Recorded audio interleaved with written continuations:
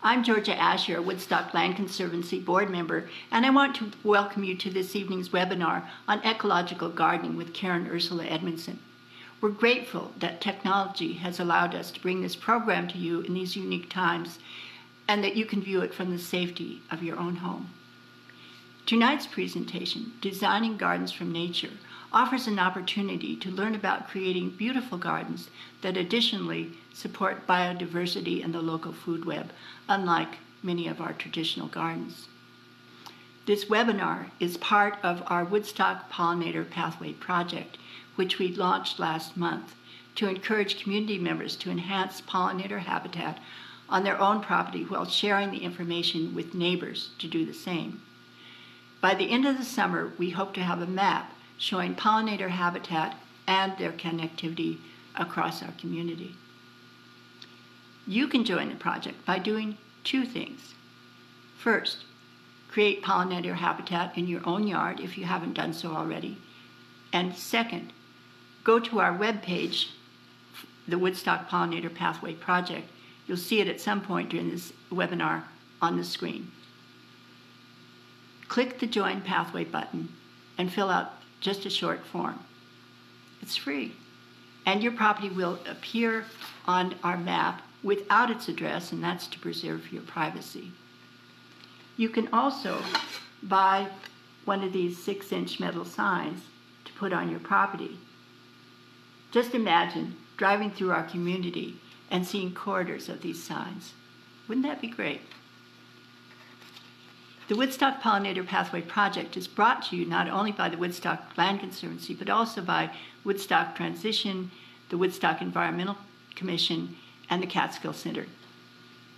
We seek to address the sharp decline in pollinators that we've seen recently. They are important and key to supporting our food web.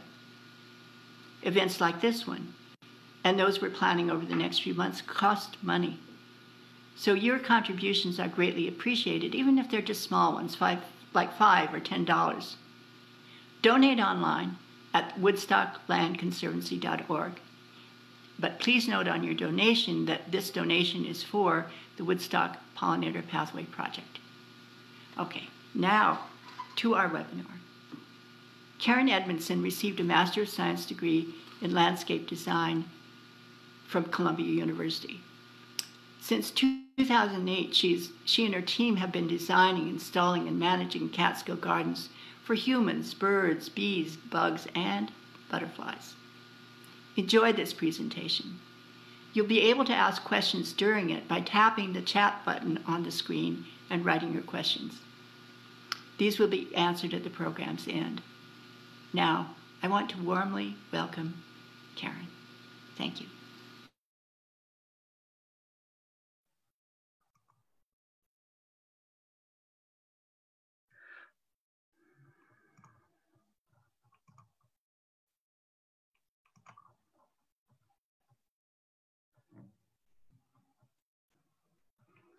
Hi, everyone. My name is Karin Ursula Edmondson, and it is so nice to be here with you all tonight talking about pollinators and gardens. First, I'd like to thank Georgia for reaching out to me, and Ellie and Maxanne for helping to put this together, and to Joan for moderating.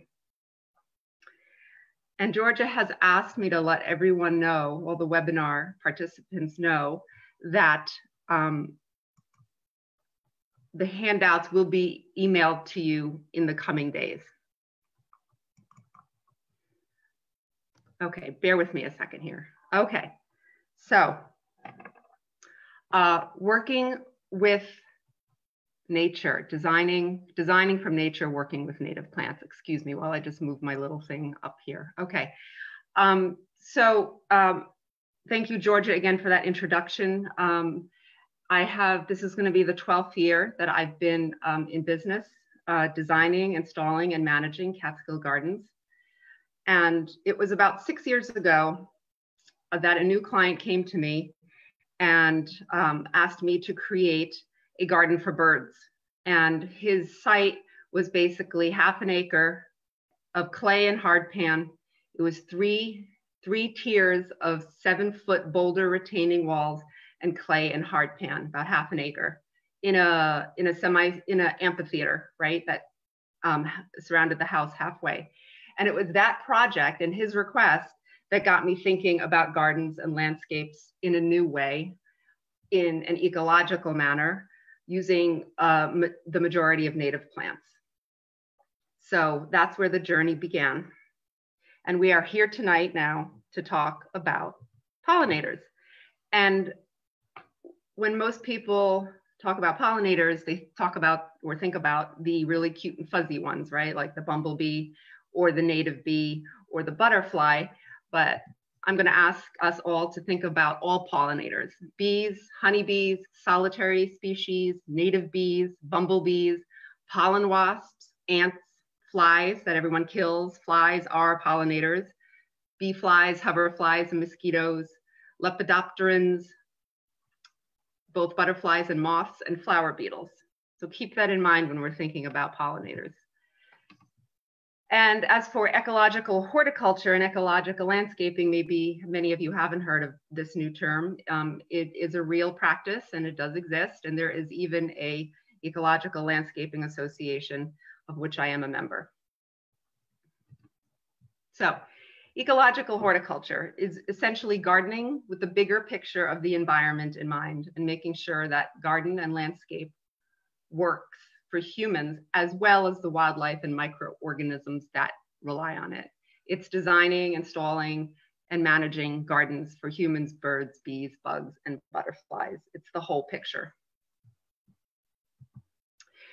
Now, don't worry about taking notes on this. This is this list here is part of your handouts and which will be emailed to you in the coming days. Um, we're going to be uh, going over many of these points in this presentation. And I'm just going to read through it really quickly. Uh, eco gardening for the home gardener. Really, the best thing and the first thing you can do is never use a pesticide or an herbicide ever. There really is never an a, a reason to do so. Plant native plants, mostly straight species plants for best pollen and nectar production. Now, why straight species? Because a lot of the cultivars that you see, and I'm going to use the echinacea, the coneflower as an example, there's a gazillion colors and now there's a couple of different shapes. You have the sort of little round button and then the double button, um, looks like a cupcake. And when plants are bred and overbred and rebred and bred again, a lot of times the pollen and the nectar content goes down. So they're not of much use to pollinators. That's why um, ecological gardening suggests get the straight species, get the pink or purple coneflower. Magnus is an acceptable cultivar with yarrow, use the white yarrow as opposed to the orange, as opposed to the pink, as opposed to the yellow. Try and get the straight species. It's better for the pollinators. Also, plant a smorgasbord of native plants, right? For early, mid, and late season food. Early meaning early spring, willows, pussy willows. Mid season is pretty easy to do, and then late season. So the early and the late season, you really kind of have to focus on. Plant in layers. What are layers? They're the ground cover layer, the seasonal interest layer, and the structural layer. And we'll get, get into this later a little in more depth. But um, in nature, you can just look at a succession from a grassy field to the shrubland to a forest, right? Those are the layers. There's usually very little bare ground in nature. She covers all of her earth. Uh, utilize naturally occurring weedy plants. We're gonna dive into this later too. Mulleins, um, jewel weeds, uh, asters, goldenrods. They're considered weedy by a lot of gardeners or homeowners, but these are the plants that are really of high value to pollinators and they're also free, which is good for you and your pocketbook. Uh, plant early season, willow, spicebush, and late season, asters, goldenrods, witch hazel for pollen and nectar plant milkweeds, plant mountain mint, plant goldenrod, plant aster. Stop mowing. Allow part of your lawn to grow out so that the clovers, the dandelions, and the wild thymes can make a comeback. Again, these plants are out there. They're probably in your lawn right now, but you keep mowing them, and so they never have a chance to grow and thrive. And um, the bees, the pollinators love these little, these little ground hugging plants. mow less often. If you're going to mow, if you're going to keep mowing a patch, which is totally cool, mow instead of every week, mow every two weeks, every three weeks. Also, mow at times when pollinators are not out pollinating to avoid running them over and killing them with the mower. This is usually uh, in the early morning or later evening. Uh, they're usually very active during the mid morning and um, later in the afternoon. Uh, we were out at a uh, project uh, at a garden in Shandaken once, and there was a row of lavender there, and I would make sure to get there before the sun hit that lavender, because once it did, it was just full of bees, and I left that lavender alone for me and for them. So go easy with the mulch. Do not strand mulch. I mean, do not strand plants and seeds of mulch right? Mulch is not considered a ground cover layer, and we'll get into that more later. Mulch is really effective for when you first put a plant in after installation for conserving water and squelching weeds, but the idea is to um, break yourself of the mulch habit by using those ground cover plants and those weedy plants and meadow plants to create that natural ground cover for you. Plant native shrubs for bird habitat, nesting sites plant ornamental grasses for food and cover for ground nesting birds. Buy from local nurseries and ask them about their pesticide and neonic policy. Avoid buying plants at big box stores, which tend to purchase their plants from giant uh, wholesale nurseries that very often still use some sort of icide. Most local nurseries I deal with do not use any pesticides.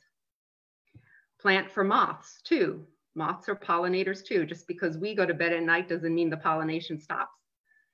Don't use blowers, sound and air pollution, and leave the leaves. Okay, so what are native plants? Native plants are plants that have been living for many years in certain climate and soil conditions and with insects, birds, and mammals. The plants and critters are part of a balanced community, a web of life. Native plants are part of a functioning and balanced ecosystem. What is an ecosystem? An ecosystem is a biological community of interacting organisms and their environment. So some of the key words here are community, web, interacting. You know, that's a big part of the ecological gardening and gardening with native, with, with native plants. Here's an example, Birds and Butterflies, a Food Web. This was taken from the book uh, by landscape architect Carolyn Summers. It's called Designing Gardens with the Flora of the American East. One of your hand, handouts is going to be a bibliography with numerous books for you to purchase should you be interested. Hers is on there. So it's a really simple um, explanation here. You can plant an oak tree and Doug Tallamy uh, references this in his in one of his books too. A native oak tree sustains a little bit over 500 species of caterpillars, while a Callery pear, which is very often planted in the traditional landscape field. You can still buy them at certain nurseries. Calorie pears sustain one caterpillar, and that's the lonely, poor little inchworm. Not that there's anything wrong with the inchworm, but still, you want the oak tree, you want those 500 species of caterpillars. Why? If you want birds in your garden, you're going to want that oak tree because those mama and papa birds, once they have babies, they're going to be out looking for insects to feed their young. If you don't have the caterpillars, you won't have the birds. Again, that's to show the interconnectivity. Here's a couple of photos of meadow community of native plants that enjoy full sun. We've all seen these before, right? Driving around, you got your asters, you got your goldenrods, you got your prairie grasses, the shorter end of things, your clovers, your self-heals, your birdfoot trefoil. Here's a forest community of native plants, shade lovers. You have your um, mountain laurels at the bottom, there's hemlocks, there's beech trees. Some of you might have the sun, some of you might have the shade. You can do a native garden with both. Shade, um, there's a lot you can do with shade. Why are native plants important? Native plants have co-evolved with the insects, birds, and mammals to offer food and habitat. So when you garden with native flora, you automatically sustain indigenous fauna, including pollinators. Native plants are used to the fluctuations in moisture and temperature. Therefore, they survive drought and other extreme weather better than when you garden with more traditional or foreign exotic plants.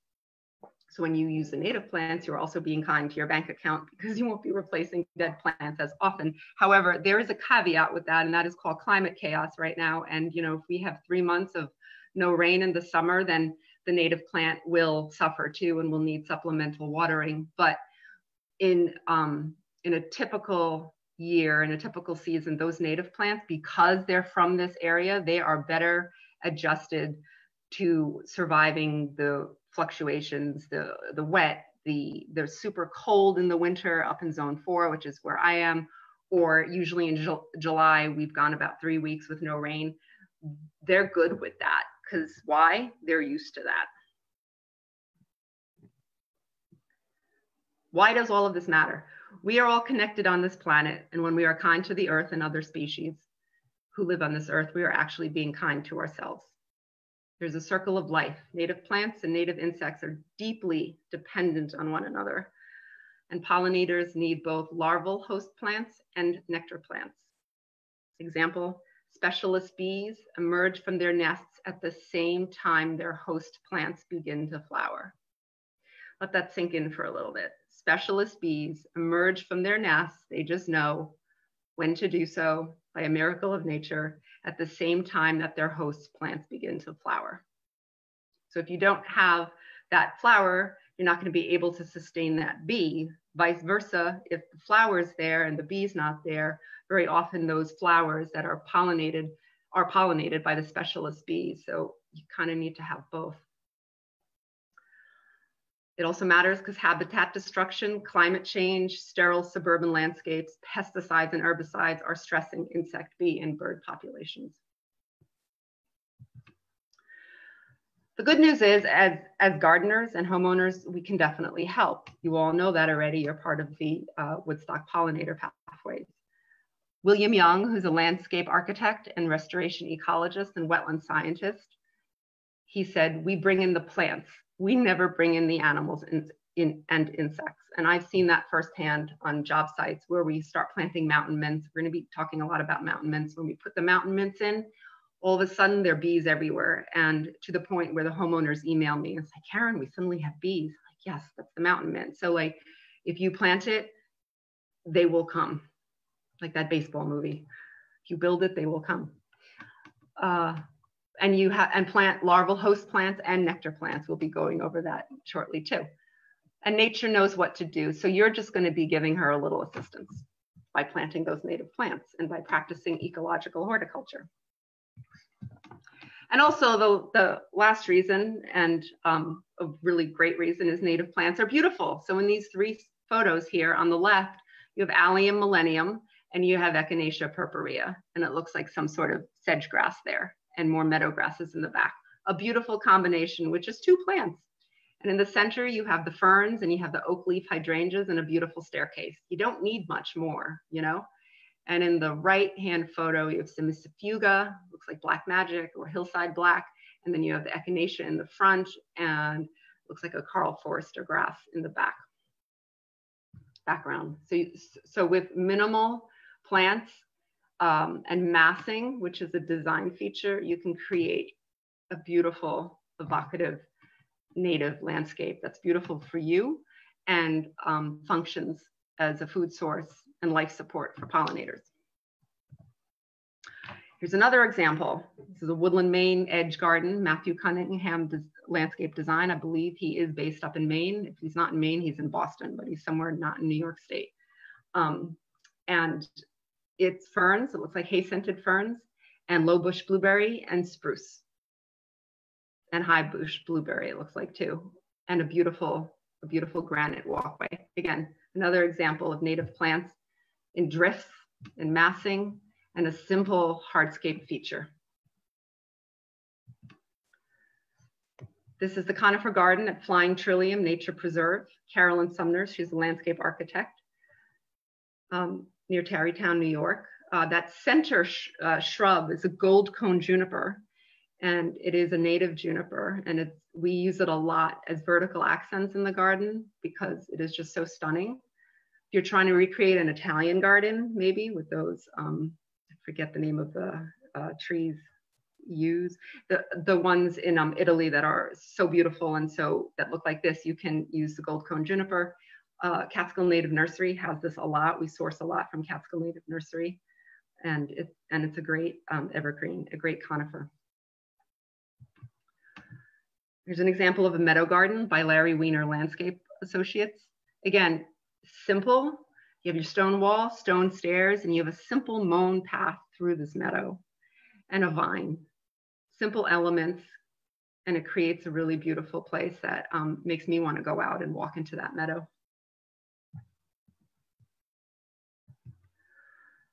Foundation plantings for your house. This is Catskill Native Nursery, Diane Greenberg and Francis Groders.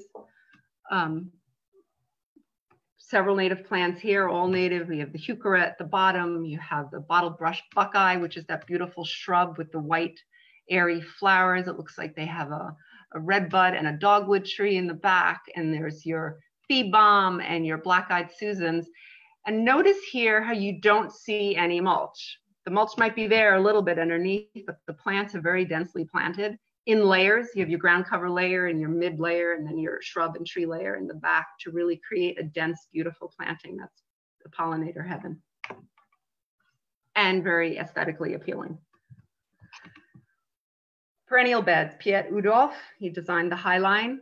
Um, he's a master of the new perennial movement where he uses a lot of perennials. and here you have Joe Pye weed, which is the purple the tall purple guy in the back, um, and then some ornamental grasses. I don't quite know what those little blue flowers are in the front, but um, just beautiful, the sweeps and the massing of native plants, very evocative. You can go formal too. This is a um, formal uh, garden by Nelson Byrd and Woltz, landscape architects.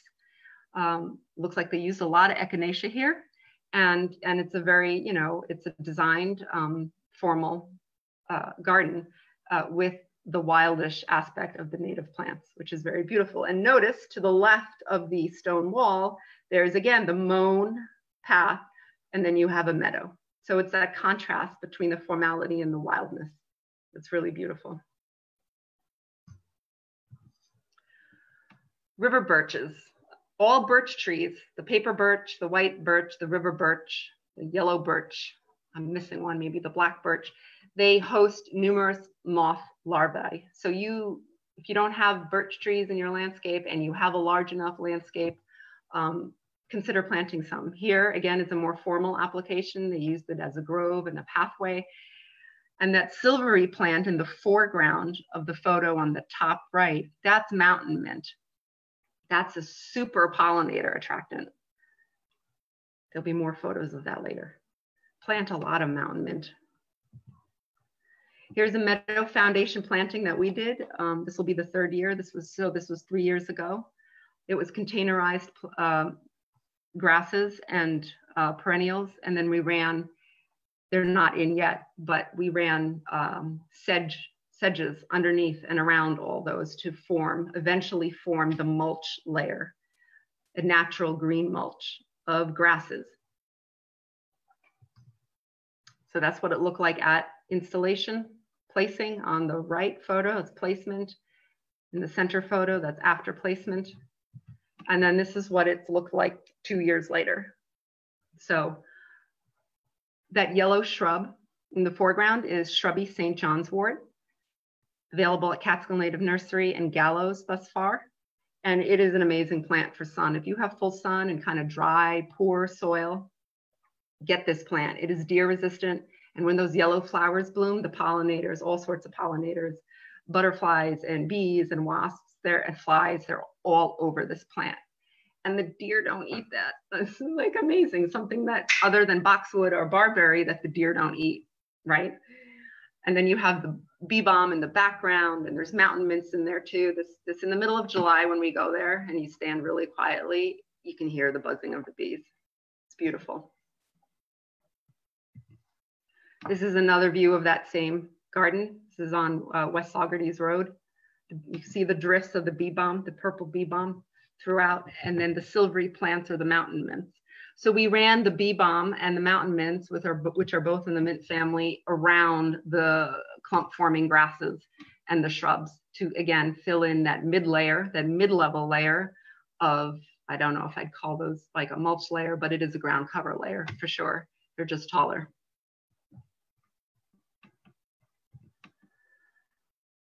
You can also have a very formal pool in-ground pool and use native plants in your pool planting design, like the Joe Pye weed, that is the purple guy on the left there, again by Matthew Cunningham, who did that Maine garden.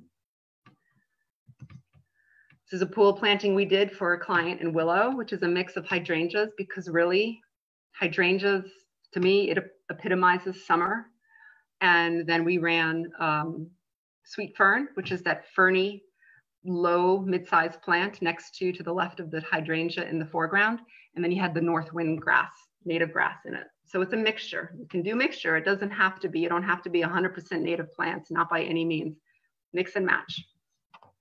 You can also do art, garden art installations. This is my friend Mel Bilar of Zone 4 Landscapes in Andes. He and his wife, Peg, did a formal circular spiral garden and filled it with native plants. Beautiful, right? Here's a close-up detail of Mel's garden and Mel's cat. And in the photo on the left, the, the bottom plant is blue zinger, sedge, and then you have autumn bride heuchera. And then it looks like sea oats and other grasses in the back, but all native plants in a very formal application. So they're very versatile. Using native plants is gardening with nature, for nature. Uh, you conserve water because once plants are established to the climate and the natural changes in temperature, they will, um, you don't need to water them basically. We don't, we have never installed a sprinkler system in any of our gardens. And after that first year, of installation. After installation, once you put a plant in the ground for that first year afterwards, you do have to stay on top of watering native or not so that the roots established. We have not gone in and watered any of those gardens after that um, because they're native. And we'll get to the root systems later on. They have massively deep root systems, so they pull water from really deep down in the ground, so they can withstand the drought a lot better than the lawn grasses for sure, and then plants with shorter roots native plants, when you're planting a community of native plants, you create a fluid, a fluid dynamic system that changes and develops and grows with minimal input from you or the garden crew that you hire to maintain this. Uh, right now, in a lot of our meadow gardens, we're, go we're going in and we're pulling stuff out. We're editing. We, we, hardly do we put anything in anymore. It's mostly editing. And we have an abundance of things like mountain mint and bee balm, and then we just transplant to other places. We also give back habitat and nourishment to the earth and the other life forms who live here. And we support insect populations, native bees and honeybees too. Honeybees are not native, they're an import from Europe. So this is the perfect example, providing life with milkweed. Um, you know, milkweed and monarchs, that symbiotic, very close interdependent relationship.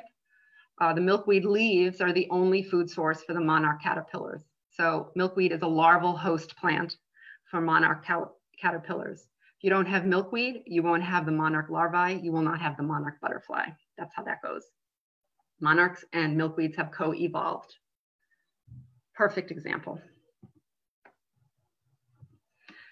Here's a, a depiction of that. You have the, the caterpillar laying the eggs on the milkweed and then the pupa and eventually you have the butterfly. But if you don't have those larval host plants, um, you won't have as much of an abundance of the, of the adult insects, the adult pollinators. This is the common milkweed um, growing on the sides of the road. Uh, beautifully scented. It smells like jasmine to me at least.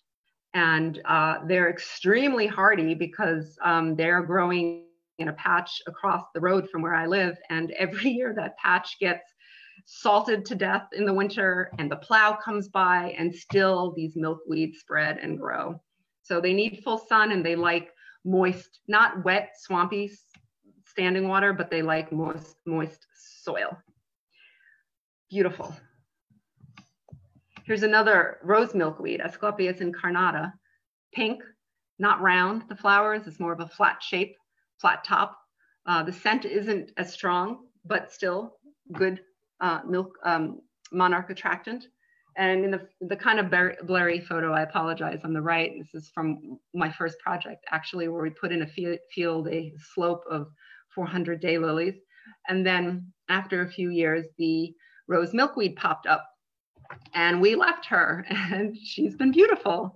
And in the background, you can see mullein, which is also considered a common weed, right? Mullein. Verbascum thapsus. Um, but here, because of the scale of this garden, it was a very large garden which, with a large sweeping slope of the daylilies, we weeded out a lot of the mullein and kept a few in key strategic locations like here, you see them, there's a better photo later on, but um, so, so we kept the weeds as part of this design. The homeowner loved it because it was free and, and he kind of got that we were going for Alice in Wonderland and mullein also attracts both short and long-tongued bees, so it is a pollinator plant. This is not milkweed. This is taken in my garden last August, September during the monarch migration. And this is spearmint, spearmint patch. Uh, I can count about five of them here, but there were literally about 10 monarchs on the mint patch on their way down south. So anything in the mint family is um, a boon to pollinators. So native bees, there's 4,377 bees native to North America.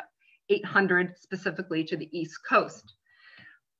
Honeybees are domesticated bees native to Europe. Not that there's anything wrong with honeybees, but a lot of people are always thinking of honeybees when they think of bees and pollinators, but it's the wild bees that are native wild bees that really need our help. No one is allergic to native bees. Yellow jackets are not bees, they're wasps. Uh, native bees are usually solitary mothers or live in small groups. They don't defend flowers and they are typically not aggressive. As with, other, as with other pollinators, native bees are in decline due to pesticide, invasive species, chronic mowing, fall garden cleanups, deer and open country landscapes in decline under development pressure. So they need our help. Native plants are essential to native bees. Native bee sizes and shapes are lock and key to native plants. For example, tongue lengths vary in bees. And the uh, long tongues need long tube flowers like penstemon, and short tongues need short tube flowers like sunflowers. So again, you have the interlocking, interlocking interdependent relationship there. Uh, bees live on pollen, so you want native pollen producing flowers. A quarter acre can support native bees if planted correctly. Native plant biodiversity equals native bee biodiversity. And if you want more info, there's a link here. All of the links that I picture in this presentation, by the way, are on your ha handouts as well. So you don't need to rush to write this down. Sam Droege is the um, national bee expert. He's amazing. He's with the Xerces Society and the US Geological Survey as well. And he, and he has a Facebook page. Find him on Facebook. So the specialist bees versus the generalist bees. Most bees can be separated into two categories specialist or generalist. The 20% of the bee population is specialist. And again, they have evolved a specific relationship with, the, with a few or even just one plant. Some specialist bees forage for pollen that can be found on one plant species. Flowers in the aster, goldenrod, and sunflower family are among the most frequently recorded as being visited by specialist bees. Again, flowers in the aster, goldenrod, and sunflower family. This is not my saying this. This is Sam Droege, the bee expert, saying this. So asters and goldenrods, yes, they're kind of common, but there's not just one type of aster. They're not just one type of goldenrod. There's many different types, many different flower sizes, shapes, leaf colors. So you can you can actually plant a garden of aster goldenrods and sunflowers and have a really beautiful garden.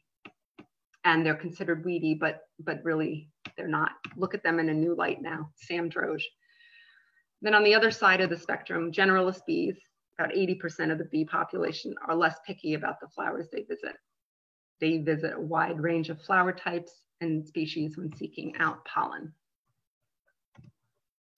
Here is the Southern Plains bumblebee on a pale purple coneflower. This pale purple coneflower prefers more dry soil. Typically the Echinacea purpurea, the straight pink purple coneflower likes it a little more moist. This guy likes it more dry. Uh, available through Catskill Native Nursery. so here's a couple of bees. And again, this is just a summation of a link that, that you have to the um, attracting pollinators for the US Forest Service. Uh, there's 47 different species of bumblebees. The leafcutter bee cuts out part of leaves to make her nest. I've listed a flower for each of the bees here. Pretty fascinating. This is only the tip of the iceberg. There's so much information on bees out there. And again, your handouts will have several links that you can go and you can read to your heart's contents about bees. So biodiversity attracts bees, clovers, meadow grasses, wildflowers. The more species of plants you have, the more species of bees. Biodiversity, variety of native plants to attract generalists and specialists. Bloom succession, again, early, mid, and late. Don't do the fall cleanup. Leave the dead plant, plant stalks standing to provide winter homes for native bees. Do remove leaves around home, homes, structures, garages, things like that, and clear leaves off walkways for safety, but leave them everywhere else. And some showy native perennials that attract native bees, spiders, butterflies, beetles, are coneflower, Joe Pye weed, bee balm, mountain mints, cup plant, goldenrod, and asters. Joe Pye weed again, tall. I'm almost six foot tall. This plant is about seven, eight foot tall in one garden in Chichester. But there's a little Joe cultivar. He only gets four foot tall. So if you have a smaller garden, get the little Joe Pye weed. This is a picture pulled back of that same arrangement. So we have the bee balm there, we have the Joe Pye weed, we have a summer wine nine bark, and we have a couple of um, red twig dogwoods. Moths. Moths are definitely pollinators too. And here is a plant that I found at Catskill Native Nursery. It's called Starry Campion. What a name, Starry Campion. Silene stellata is the Latin. That is pollinated by moths. And um, interestingly enough, a restoration ecologists and landscape architects are using a new method called TRVA. It's called Terrestrial Rapid Bioassessment, where they basically use moths as an indicator of the health of an ecosystem. Who knew? So look at moths now in a new light. If you have a lot of them bomb, you know, sky bombing you at night um, and uh, fluttering around your outdoor lights in summer, this is good news. Don't consider them pests. They're beautiful. That means you have a healthy landscape and garden. You can also attract moths with night blooming plants that that flower at dusk. Evening primrose is one example. There are cultivars of evening primrose. I don't know how um, sustainable they are with their pollen and nectar production, but the weedy one that's growing kind of naturally, that's a perfect plant. If you find her popping up in your garden, keep her, evening primrose. Also plants, perennials and shrubs that have, that have flowers that stay open 24 hours, that the flowers don't close up at night. There's a lot of them. Carolina allspice is one of them, Calycanthus floridus. Uh, she likes part shade, part sun, and moist soil. Uh, Catskill Native has one growing along a small stream bank in their nursery. It's absolutely beautiful.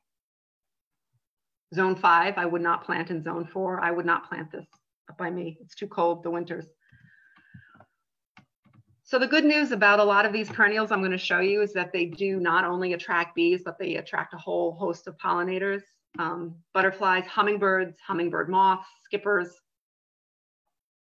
Um, usually the Kobold, which is the one on the left, is the one that you see everywhere at all garden centers, but there are about five different um, blazing stars that work in the Catskills. The photo on the right is rough blazing star, and it has little round buttons as opposed to the long stem. Beautiful. Bee balm I'm sure a lot of you are familiar with bee balm. This is the Jacob Cline, which blooms before the raspberry wine. It attracts bumblebees, moths, hummingbird moths, hummingbird butterflies. This is a nice combination for those of you who like hot, hot, bright gardens, bee balm and liatris for the hot pink and hot purple. Two other monardas, two other bee balms. Uh, we have the fistulosa on the left, the purple, the bergamot, and the bradburyana on the right. They both prefer drier situations in full sun. The um, bergamot can grow about three to four foot tall, while the bradburyana is only around two feet tall. It's another photo of the bergamot and the mountain mint. The mountain mint is on your lower right-hand corner. It is that silvery foliage. Mountain mints do have flowers, obviously, but for us gardeners, for us humans, we appreciate the silvery fo foliage, which is also scented, and deer do not eat mountain mints. Uh, excuse me, one garden in Saugerties, we did bee balm and mountain mint together in a bed near to a place where the deer hang out. And because usually the deer don't eat the bee balm too much, boy, were we wrong. They came in and decimated the bee balm, but they didn't touch the mountain mint. So here's another deer resistant plant that's wonderful for pollinators, mountain mints. Bee balms, two different planting combinations. You have your summer wine nine bark with the dark leaves and the bee balm, the raspberry wine. And then on the left, you have the black-eyed Susan. It's a more light-hearted combination. This interesting plant, rattlesnake master, uh, very architectural, kind of unusual, but it is available at Catskill Native Nursery, and it also comes in a lot of seed mixes um, from um, ecological seed, online seed places like Prairie Nursery or Prairie Moon Nursery. So, so this little plant here, this is all the, this is listing of, of some of the um, pollinators that attracts bumblebees, yellow face bees, multiple beetles, um, 11 different types of wasps. Uh, it's pretty amazing. And a moth, two different moths, host plant for two different moths. So this is definitely one that you want to have in your garden, both for the pollinators and also because it's very kind of Jetsonsy and space agey. It's very unusual.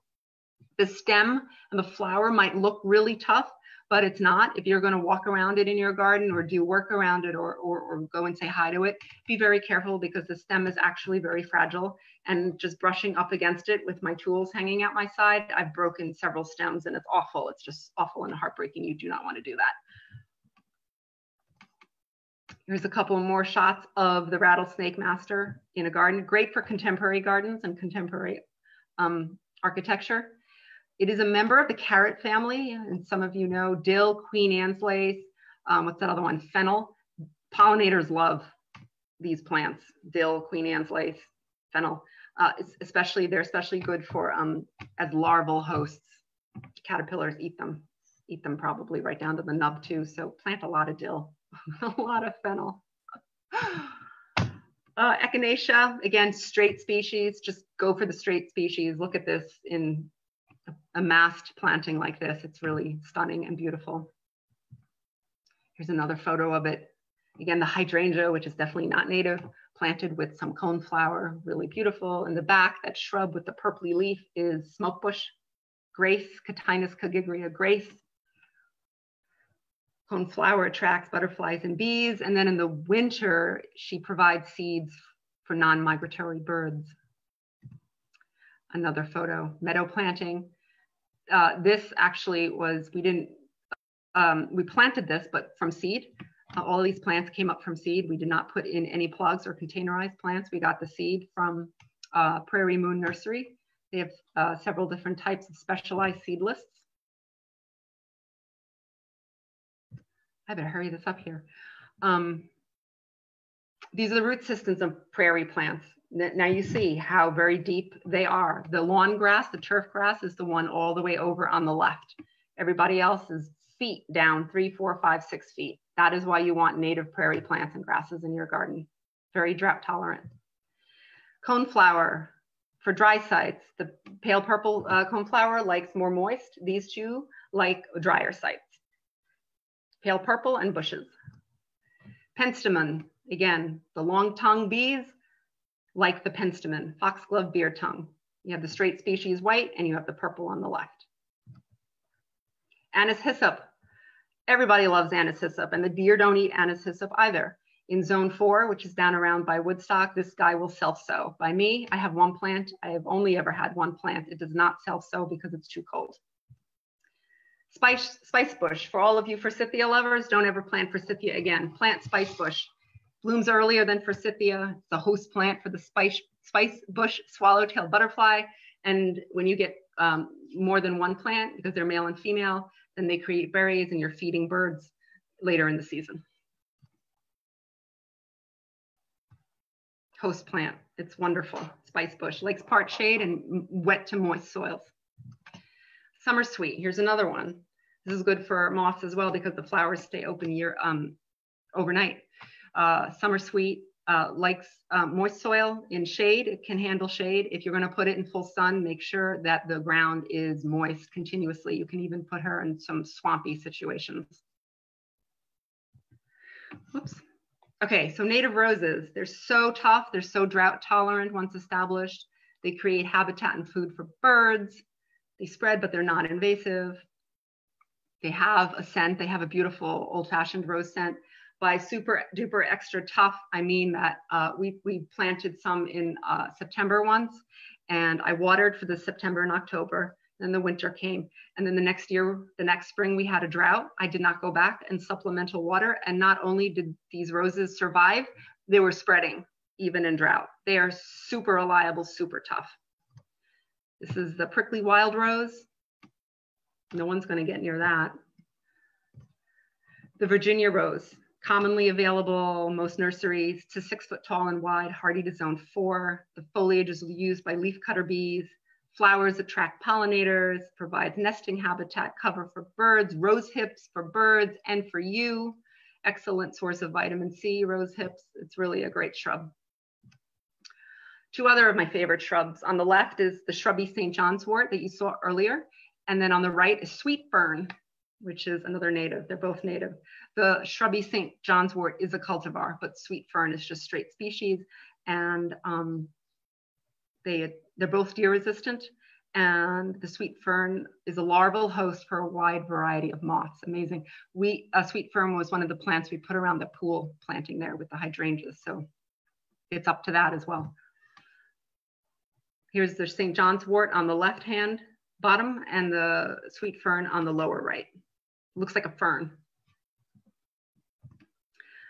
Ornamental grasses are native ornamental grasses, not miscanthus. Miscanthus can tend to be invasive in zone five and warmer.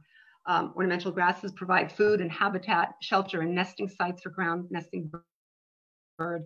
It is heat, drought, cold tolerant. Once established, the only thing you need to, you need to do is in spring, cut them back. It's windproof, deer-proof, dog urine tolerant, and beautiful texture. And here's a couple of my favorite Cloud Nine. Those of you who love Miscanthus, Fine Line, Gracilis, uh, plant this instead, Cloud Nine. Thundercloud is another good cultivar.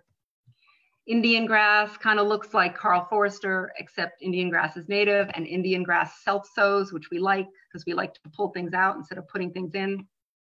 Saves time and money. Little blue stem, Northwind, little blue stem on the left with that beautiful red fall color and Northwind on the right with the yellow fall color. This is an example of them. The photo on the right is blurry. Again, I apologize. It was right after installation. The cameras were not as good back then as they are now. And on the left is the garden in the spring, early spring, established. Great vertical accent, Northwind, widely available two more examples of the, there's the sweet fern. The left photo is the installation photo, sweet fern and the little, little short plants in the line of the north wind. And this is two to three years later, everything is filled in completely. The sweet fern is loving this hot, dry poolside location so much that we have to go and prune her back from the pathway. Another detail of the beauty of ornamental grasses. Just stunning and so low maintenance and those seed those seeds provide food for birds in autumn and winter. So how do you incorporate natives in your garden? Um, site inventory, get to know your garden. Um, is it sunny? Is it shady? Is it wet? Is it dry? Do you have a lot of wind or are you very sheltered? And all of this leads to the right plant in the right place. If you remember nothing else from tonight, it's right plant in right place. Work with what you have. If you have moss already, do the moss garden. Do not try and put a lawn there. On the other hand, if you have hot, dry sun, try a meadow. Why not? Or ornamental grasses as a base for your garden. Prairie Moon Nursery has excellent mixes. Again, it's going to be on your handout, seed mixes. Shade, ferns, work with them. Don't fight it. Saves you time and money. They obviously want to be there. Uh, this is that site I was telling you about, the, uh, the, the, where the client wanted the garden for birds. This was what we were dealing with on the upper right-hand corner, clay and hardpan and boulders. And again, blurry photos, I apologize, but um, this is what it looked like a year. The bottom with the um, Black-Eyed Susan was a year after installation from seed mix. They're a pioneer species. If you're going to be planting seeds, you're going to have the first year, you're going to have a lot of black-eyed Susans, and then the second year, you're going to have foxglove beard tongues, and then the third year, you're going to have echinaceas. Not all plants come out at the same time from seeds. You have to be patient. Here's another photo of this project before on the left and three years after on the right. There's actually people up there. There's my team up there on the photo on the left. Mixing it up, I mentioned before, you don't have to be a native plant purist. If you have traditional garden plants, great, they're beautiful. Uh, stick some native plants in. Here we have bee balm amidst the Rozanne geranium and the fleece flower, and we also have the orange butterfly weed, which is great. Cottage garden, again, mix of traditional peonies and nepeta and lady's mantle, and then we put in that gold cone juniper, which is the lime green guy in the center, and you have a couple of um, little uh, prairie drop seed grasses and a north wind and a nine bark. You can totally mix it up like that. More pictures of the cottage garden. This is up in Hunter, zone four. The pool again, different angle. So we used, you know, a lot of traditional uh, landscapes plants here. We used the hydrangea, we used a field of the hot blooming, hot colored daylilies back there, hemerocallis, and then we also incorporated natives. So you can do both.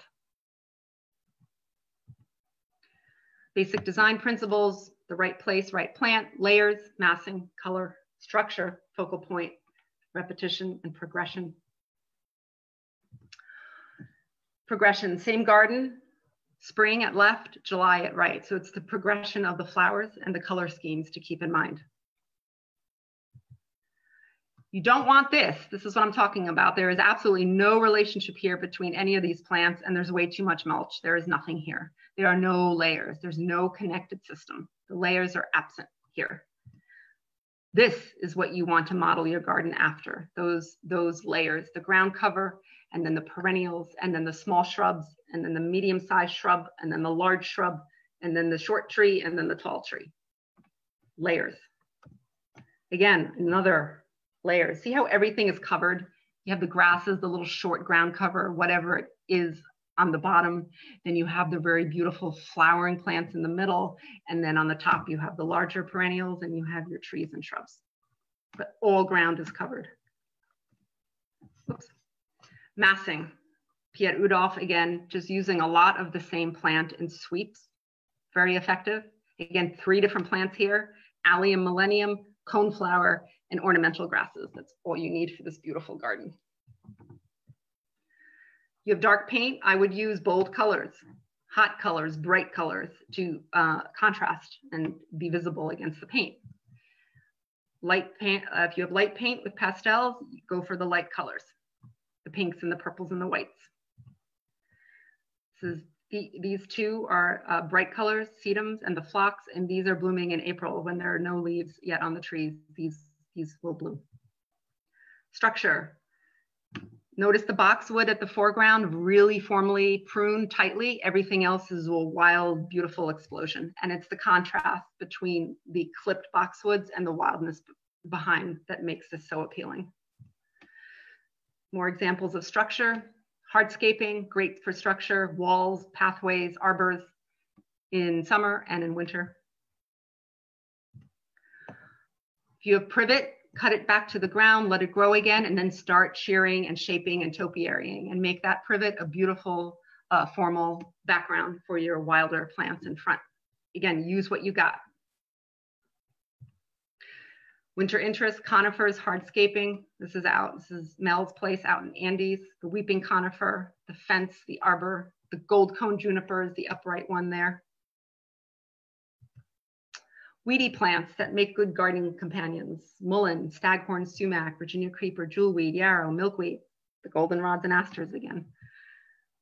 This is that site. We're going to be working. You see the staghorn sumacs right in the middle there. We're going to be we're going to be working with them. We are not removing them. We will be shaping them and editing them, but they stay. They want to be there. They stay.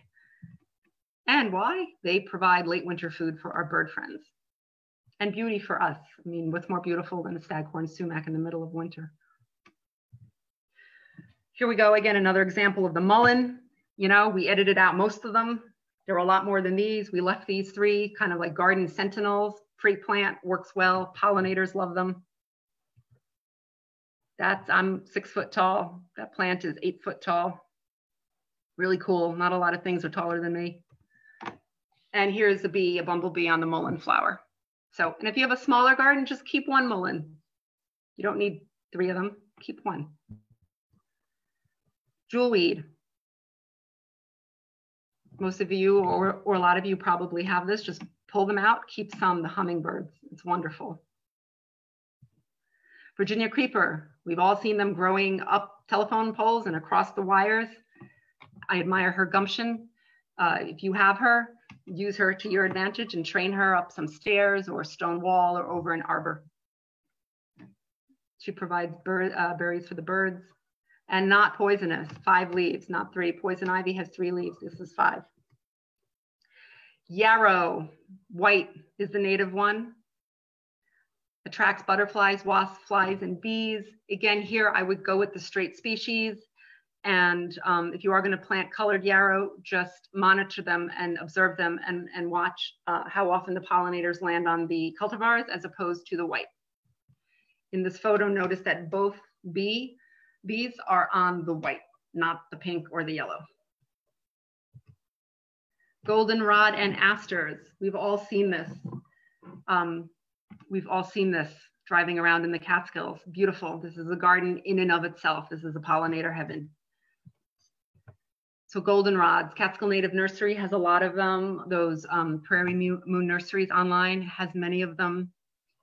Here's some examples of the goldenrods. Goldenrods do not cause aller allergies because their pollen is heavy and thick and not airborne. It is the ragweed that causes um, allergies in the autumn. I know I'm one of them. Those, those allergy sufferers. Don't blame the goldenrod. Here's some more mountain mints. Love the mountain mints. Here, look at all, we have a, couple of the hoverflies and, and, and the butterfly on the mountain mint. It's wonderful. And again, deer resistant. Get your hands on some mountain mint. Asters. Asters come in pink, blue, purple, white. Absolutely beautiful. Asters, goldenrod, and black-eyed Susan. Beautiful combination with some sweet fern in there. Pagoda dogwood for the birds. This was a young one that we planted. Uh, Doug Tallamy, the, uh, the biologist, reported 20 different bird species on his pagoda dogwood. Couple of birds that come to the pagoda dogwood.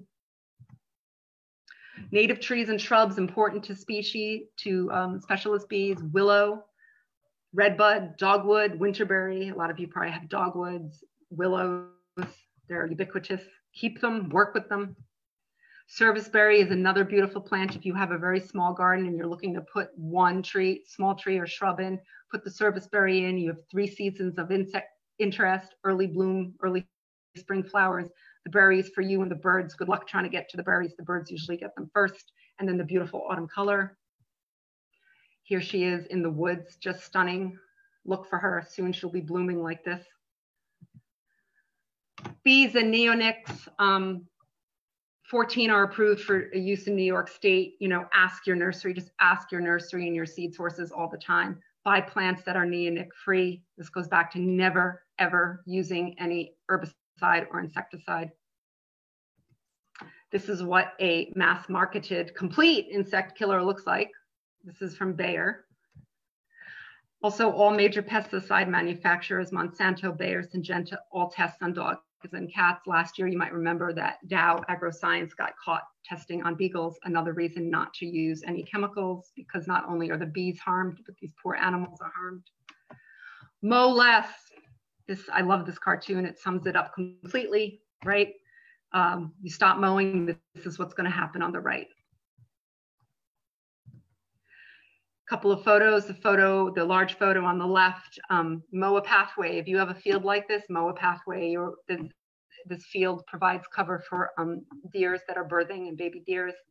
And the photo on the right is actually my property.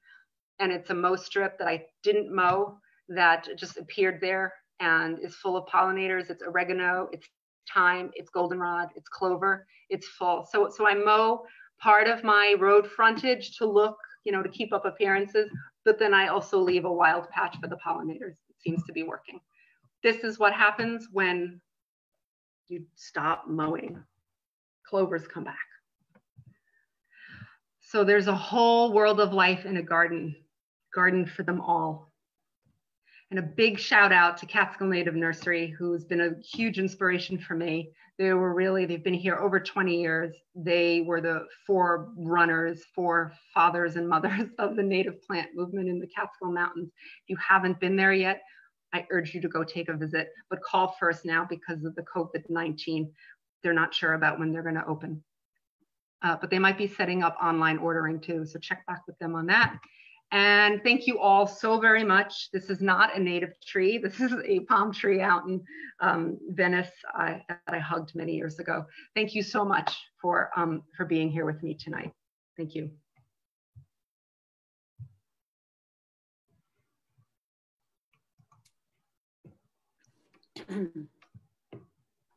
Thank you. We find some questions.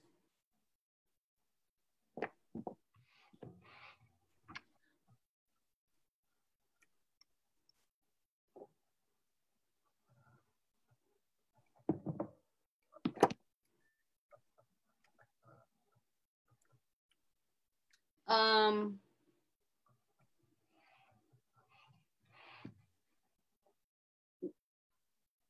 Anne says, we don't do fall cleanup. I recently read we should wait until temperatures are consistently about 50 night and day to do spring cleanup. Is this accurate? Yes, absolutely. Um, we stopped doing uh, fall cleanups years ago, um, like before everything got, you know, before the information got out there. And um, so we're going to be going out this spring again. And um, when we can. And uh, I always wait till it's warmer. You know, like this March is a perfect example. We had all those warm days in the beginning of March, and I saw people posting about doing cleanups already. No, no, no, no. We wait. So wait, definitely wait. And then, um, and then when you do uh, cut back things, uh, cut them back to 18 inches from the ground because this still leaves part of the dead stalk remaining there because you want those dead stalks excuse me, because they're hollow now for the native bees. Notice those all those native bee houses that you can make or buy. Why buy them? Just leave your dead stalks standing over winter and then just cut them down to 18 inches from the ground so you have them there. You have a free native bee house in your garden by by gardening ecologically. Judith asks, should I discontinue cedar oil treatments for tick and mosquito control? I'm not sure about that. I can get back to you on that. Okay. Um, this doesn't look like a question. Removing leaves. I have long leaves. I have long let leaves over winter. However, when I spoke to the CCE Master Gardener instructor, I was told that the leaves provide a cozy place for the deer ticks and so on over winter. And they will be awaiting our walk th- through in spring. Lyme is a real concern here. What do you suggest? So to me, um, I've never actually heard that, and maybe I'm missing something. Maybe I'm misinformed, but um, I think the barberry plant um, is a bigger threat to, um, you know, for ticks because studies have actually been done on Japanese barberry, which is a very common landscape plant. It is still sold in nurseries, um, and there's been studies done that that that um, mice that live under these barberries, for whatever reason, the humidity level under the barberries, the mice living under the barberries have a higher concentration of ticks on them than mice living under, I don't know, another a rhododendron or a sweet shrub or something like that in your garden. Um, with the leaves, I mean, maybe it's really thick layers of leaves. Again, remove your leaves from around your house and from around your walkway uh, leave the leaves in the spring, I mean in the fall, but in the spring, do remove most of them. Leave a few that are already decomposing and rotting around at the base of plants to kind of continue decompose. I'm not saying to leave the entire leaf layer there in your beds all year. Remove the majority, leave some to continue the, the uh, decomposition. Larry says, I have at least two huge wasp nests high up in the trees. I think they are white face wasp. I don't think that's a question, but um, any response to that? So if they're high up in the trees, you That's know, as long, it is my understanding that as long as you don't put yourself in their direct line of flight when they come out of the wasp nest, you will be fine. One of my clients in Woodstock had um, two, one on a smoke bush by where she parked her car and one hanging off of her shed. And she left them there. And I learned something from her. And she said, Karin, you just have to stay. Don't park your truck. She pointed it out to me. She's like, park away from the opening to avoid being in their line of flight. If you start getting in their line of flight, look out. But um, you know, and also that changes if they build in a location where if you have small children where there might be an obvious harm to you. But um, uh, from experience, from recent experience with my client, um, I would leave them, and especially if they're high up in a tree. Um, Muriel says, I have non-native plants which want to be there. Should I keep them? Uh, I need more information, like what type of non-native plants that want to be there. Okay, let's see if Muriel types in. What are the best plants for early spring? Asks Linda. I would say willow, definitely. Uh, pussy willows are, you know, they're silvery now, and they're the first ones to actually bloom. And I actually asked Francis Groeters of Catskill Native Nursery this question just a couple of weeks ago. You know, I said, is it just the native pussy willow that is such a pollinator um, plant? And, she, and he goes, no, all willows are good for pollinators. So if you have like the weeping willow, right? That's a common one. That's good. The pussy willows are great. Some of the more ornamental ones, the black willows, the black pussy willows, um, they're all good. Um, early season, also again, the lawn, like things that are cropping up in your lawn. It's the clovers, it's the it's the dandelions, even though dandelions aren't native, um, but they're the ones that are going to start feeding your bees. Wow, there's lots of questions. Um, are the white-faced hornets pollinators? Asked Larry. That's a good question, Larry. I don't know. I would need to get back to you on that. I know wasps, are hornets considered wasps? I'm not sure, but they are wasp species that are considered pollinators. And there are wasp species that are also considered gentle and non-dangerous. And I believe Sam Droege, you should check out, find him on Facebook or his website at the US Geological Survey and ask him. Ross asks, I have a lot of invasive jumping worms and they seem to impact lots of the native plants. Any ideas? Yeah, the, the native jumping worms is something we've just come across in the last few years, and it's mostly down in your neck of the woods down there in Woodstock, up, you know, Mount Tremper. Um, other than them being kind of gross when we're down there and scary and something like out of Alien, uh, no, I, I, I don't have any suggestion for that yet. That is something I need to do some more research on. Yeah. Um, do you recommend any plants for shady wet spots? asked Ruben. Yeah, winterberry is a good one.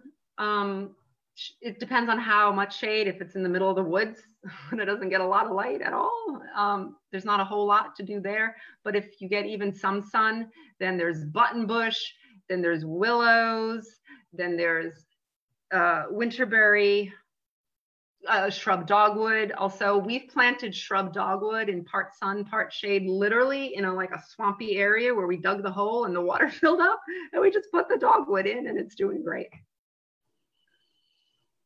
Can you say anything about loosestrife plant for pollinators? asked Tricia. I don't know much about the loosestrife plant for pollinators.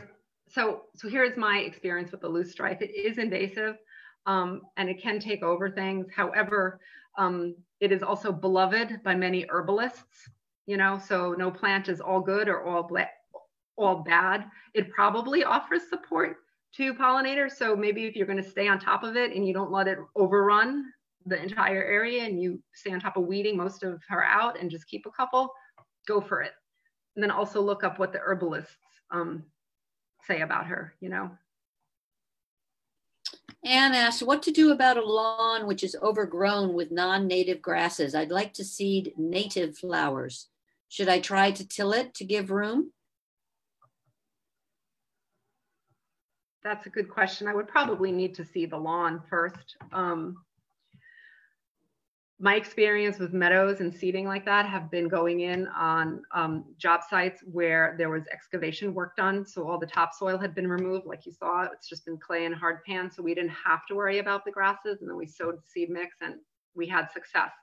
With um, my own personal lawn turned into a meadow, you know, um, there's meadow grasses in there and, and, and, and little like clovers and things like that that are now growing. And the asters came out after year three and goldenrods are coming out.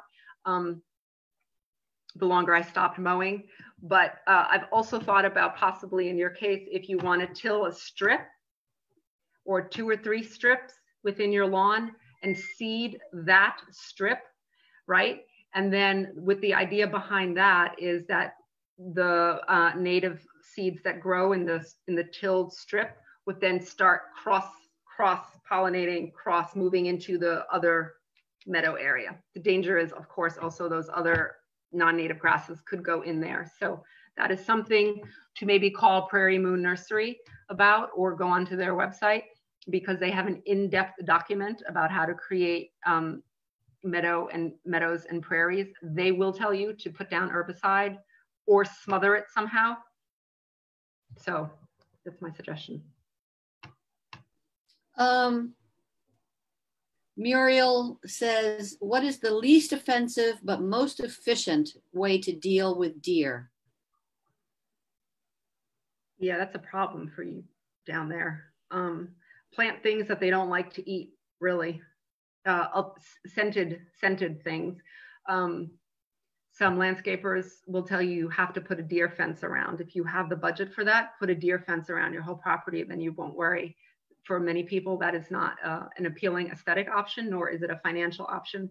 So really, mountain mints, um, sweet ferns, the shrubby St. John's wort, like things, uh, boxwood, they're not native, but you can stick a boxwood shrub here and there and, you know, for an interesting look, for contrast. So really just research plants that are strongly scented, right? Um, alliums too, onions, they tend not to like things that are strongly scented or very fuzzy too. If they have fuzzy leaved plants, they tend to stay away from that. Linda asks, should we remove creeping Charlie in flower beds and are strawberries native? I don't think, I'm not sure about the strawberries, but there's a, there's a, um, there is a, there is a native strawberry like ground cover that um, that doesn't produce strawberries that um, uh, is useful. Um, the creeping Charlie is, you know, that's up to you. If it's overrunning everything, you know, maybe remove it, maybe keep some of it. It is a ground cover. It's free right now. If you're transitioning from mulch to more of a herbaceous ground cover mulch layer, a green mulch layer, keep it and work with it. Again, just stay, you know, make sure um, you can always edit creeping Charlie out where you don't want him. Like, why remove the whole thing if it's, you know, if you can work with him somehow. Andrew asks, we would like to hire a landscape consultant to help us in West Hurley. Is Karin available? Do you have Karin, any other recommendations? Yes, in the handouts, I, I do provide a list of local uh, landscape companies and nurseries that can provide that service. Teresa asks, will native meadow garden attract yellow jacket ground nests? I am allergic. That's another good question. I don't know. Have I ever come across, you know, the, the two ground nests that I've come across of those yellow jacket bees have both been up against a structure, a house. One was in West Hurley, no, one was in Hurley, and the other one um, was down by by Rhinebeck. I've never come across one just digging around in the garden or in a meadow, but I don't go digging in my meadow. So I can't really answer that. That's something to look up online. Anne asks, what's the best way to deal with overgrown lawn grass? I want to seed with natives. Should I turn the soil? Seems like we just sort of ask that question over again. You know, it would be. Did I, did I already ask that one? Yes, yes, you did. okay. Stuart asks, what about tent caterpillars? They look destructive on the shrubs. So this is something to get in contact with Catskill Native Nursery about because they there are tent caterpillars and then there's a different type of caterpillar that looks like a tent caterpillar and does the same sort of tenting netting thing on trees, but it's actually not the tent caterpillars and they're not that destructive and they don't if you notice with the tent caterpillars, they come in and it's like an infestation and they cover everything and everything drops its leaves. But with these little native guys, you'll see it on like one tree here, one tree a couple of miles down the road. But again, get in touch. I don't know enough about that. Get in touch with Catskill Native Nursery. They'll be able to help you with that. Okay, when you referred to the herbalist, who or what were you referring to? Oh, probably herbalist. Yeah, so you know, different plant people look at plants differently, right? So the um, so herbalists, uh, so like mugwort, right? Everyone's familiar with mugwort, Artemisia vulgaris. It, it colonizes and takes over disturbed sites, construction sites. It's alongside Route um, 212 going from Woodstock to Saugerties right before South Peak. It's on the right side, you know, um, and it's considered a noxious weed by gardeners, right? Probably by native plant people too. But herbalists use mugwort for plant medicine. That's what I'm talking about. So purple loosestrife to gardeners and ecologists probably is considered an invasive and a bad plant. However, if you're an herbalist and you're looking at it as plant medicine, it's not a bad plant. So it depends on your perspective. That's what I meant. And it's helpful to look at plants from different perspectives. So it's not even Japanese knotweed, it's not all bad because it does provide late season food for the bees when it blooms. And then also there it has it has an attribute that is helpful to combat Lyme disease. And again, a doctor or an herbalist would be able to speak to that more than I can. But um, I often throughout the year when I have time, I go to various I, I, go and hang out with herbalists and I listen to what they have to say because they bring a whole new perspective to plants which helps me in my gardening. And now I have a little stand of mugwort. It's not in a cultivated bed, but it's out by my fire pit, and I'm keeping the mugwort because of what um, Marguerite Ullman Bauer um, conveyed to me. Sean asks, can you recommend ideal planting conditions for ornamental grasses? My soil is too rocky. I was using potting soil in a mound to promote growth a lot of ornamental grasses like rocky, dry, inhospitable conditions, like prairie dropseed is one. What I would recommend is hopping online to one of those mail order uh, nurseries like Prairie Moon Nursery and seeing if they have plugs. A plant plug is a little, it has roots about this big, maybe two inches, three inches. It's very tiny. Um, and then plant those plugs in the existing soil. Do not, I mean, you can mound up a little, but don't create a volcano. Um, also add compost to the little hole that you're digging, but plugs in rocky, barren soil, plugs make all the difference unless you're bringing an excavator in to dig out your hole. That's a whole different story. But little plugs, use compost. And um, yes, there's some ornamental plants that will thrive in your um, condition. Also, sweet fern will thrive and so should shrubby St. John's wort. That contemporary meadow landscape I showed you was dry, rocky, inhospitable soil. We just used the soil that was there and amended with compost, but we also had an excavator. So we cheated a little bit. Marilyn says, I like the idea of not using much mulch. Could I use a thin layer of leaves as mulch? Yeah, I think so, especially leaves that have started decomposing and rotting. You can start like a leaf compost pile that uh, when I was doing my internship at Wave Hill in the Bronx, they had an enormous, oh my God, oh my God, this, this pile of leaves was, it was like a small building and it stunk to high heaven. It was rotting leaves, but we used that a lot as mulch in various beds. Ruben asks, how do you deal with Japanese beetles? I hand pick them. Also, if you're growing things like grapes, which they like, plant a trap crop of like Virginia creeper nearby because they do like Virginia creeper and they'll go eat the Virginia creeper. Trap crops, that's something to look up online. Krista asks, I live in Mount Tremper, Phoenicia slash Phoenicia. I have so much shade, lots of pines, moss, and ferns. Hostas and astilbe do great. Will the mountain mint do well? There's there's uh, five different mountain mints that um, I've been able to obtain via uh, wholesale nurseries and Catskill Native Nursery. And they're different mountain mints for different conditions. Some like more dry, some like a little more moist. Some can handle some more shade. Again, it depends on the amount of shade. If you're talking about really heavy, deep shade, no, they won't work there. But there's a couple of asters, like white wood aster, and there's a goldenrod too um, that works in shade. I've seen it growing in the middle of the woods. Um, but mountain mints need some dappled sun. Cynthia asks, I noticed Rosa Virginia, is it Virginiana? Virginiana Correct. Yeah. Is uh, in one of the landscapes in your slides. Isn't that considered an invasive?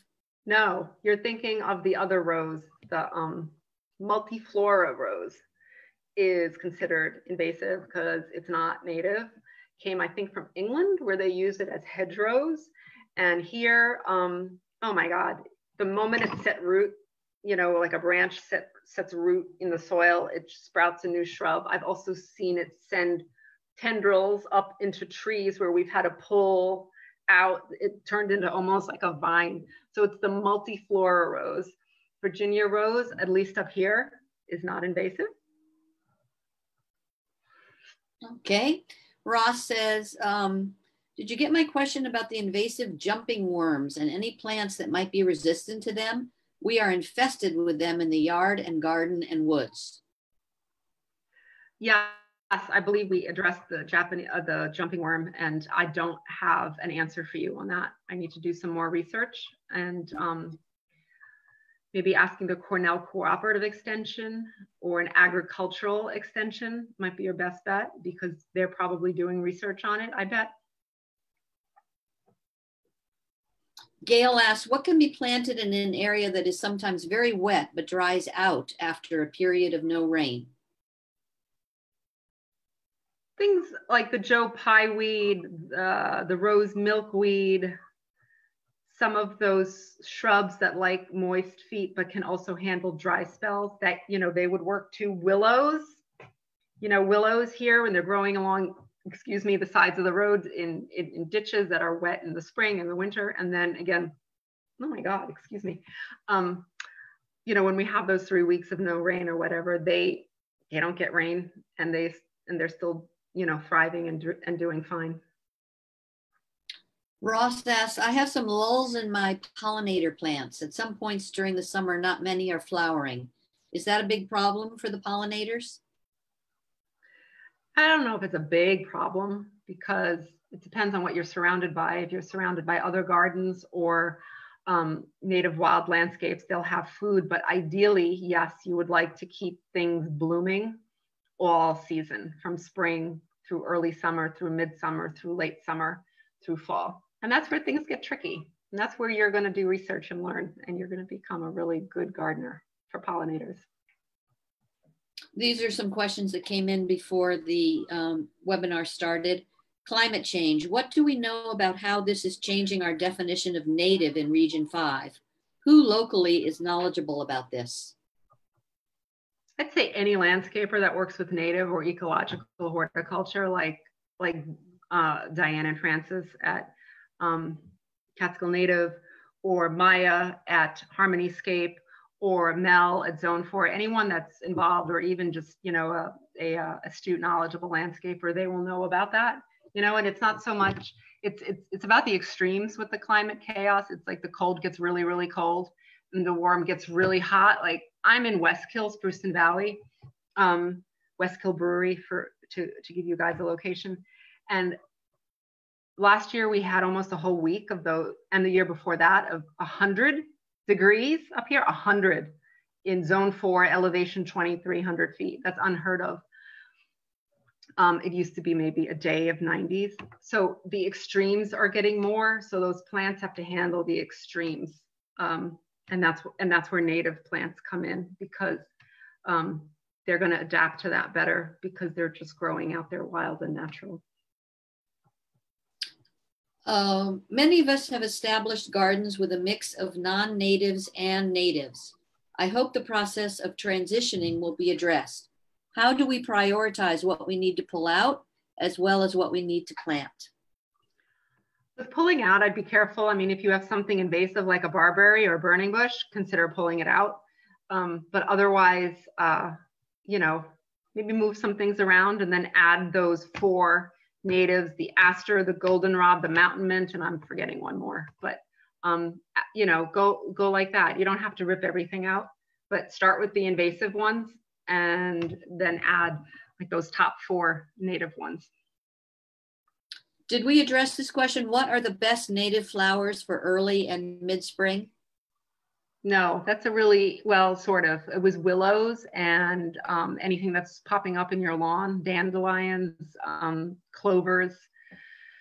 Um, alliums start blooming, like those Globemaster alliums. They're in um, end of May, I think. So those would work too. There's more information on that online too. Um, I think we have time for a few more.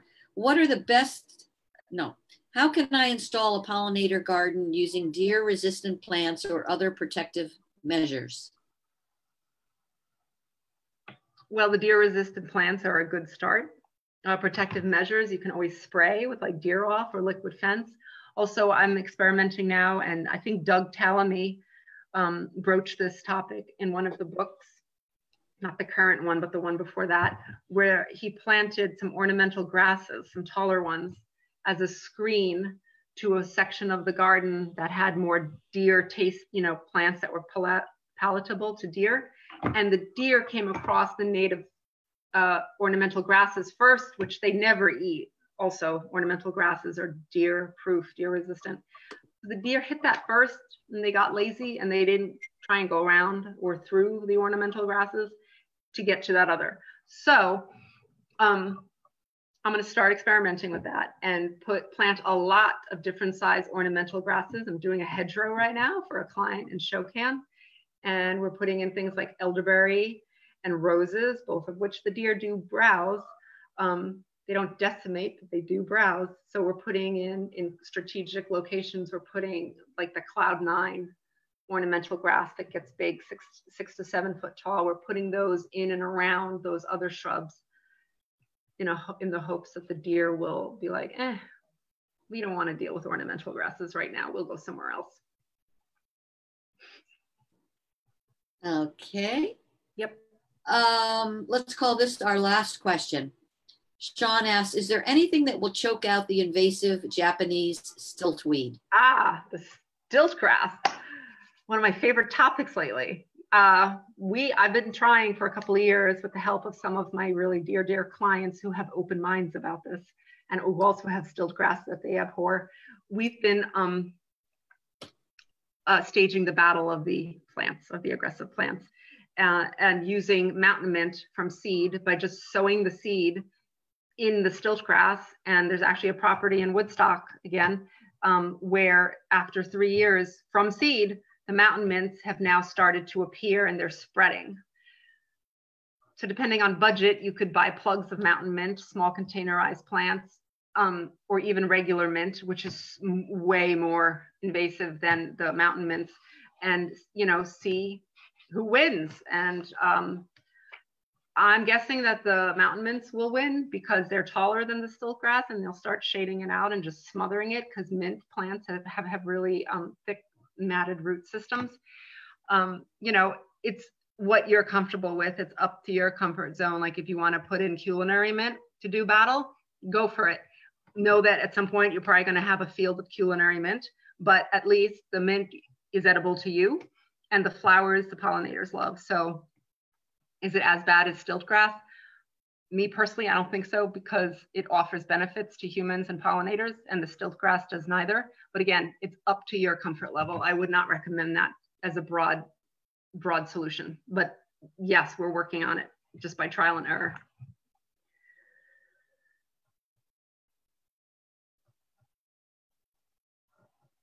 Hello?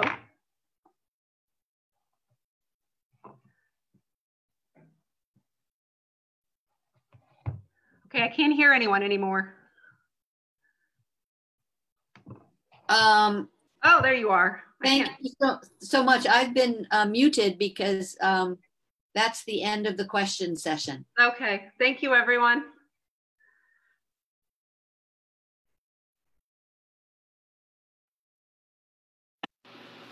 Thank you, Karin, for that beautiful and informative presentation.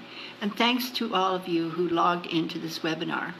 I hope that you're better able now to imagine beautiful gardens for your property with enhanced wildlife habitat.